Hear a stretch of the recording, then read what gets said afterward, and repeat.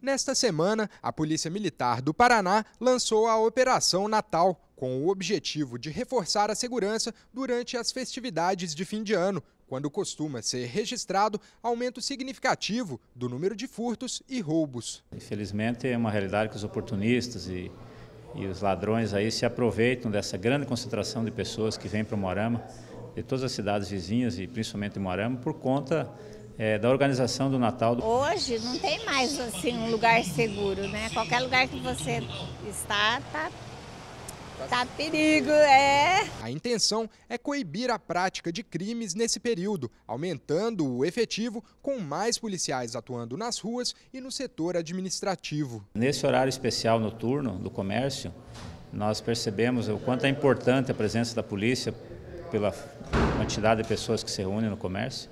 A exemplo de ontem, vai ser uma constante agora até o último dia, uma escala especial, uma operação Natal que está sendo desenvolvida em todo o Paraná, que em Marama não vai ser diferente. Nós estamos trabalhando com o pessoal do expediente nas escalas especiais de rua, fazendo um, um remanejamento do efetivo, é, fazendo uma escala especial é, para que tudo corra bem. Nós estamos até sacrificando um pouco os policiais para que a gente consiga manter a boa ordem junto com os outros órgãos aí, Polícia Civil e Guarda Municipal.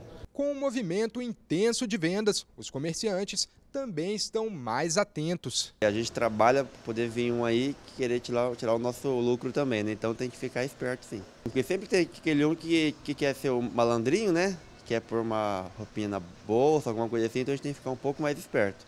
E aqui a gente adota um jeito legal, que sempre um tá, um tá na porta, né? Tá olhando também para o lado de, de fora também da loja também. A Polícia Militar alerta sobre certos cuidados para que a ação dos marginais não seja facilitada. Uma orientação é nunca contar dinheiro na rua, principalmente próximo à saída de bancos ou casas lotéricas. Então é importante que as pessoas não facilitem é, com o manuseio de dinheiro, principalmente as senhoras que usam um acessório de bolsa, que tenham muito cuidado com a bolsa, manter, inclusive quando estiver em deslocamento, sempre à frente do corpo, com segurança. É, a gente está assim, tá né? Só desconfiando, né? Que é perigoso, né? Nessa época costuma ter mais casos, tem que ficar mais atento. É né? verdade, né? Colocar a bolsa pra frente. Então.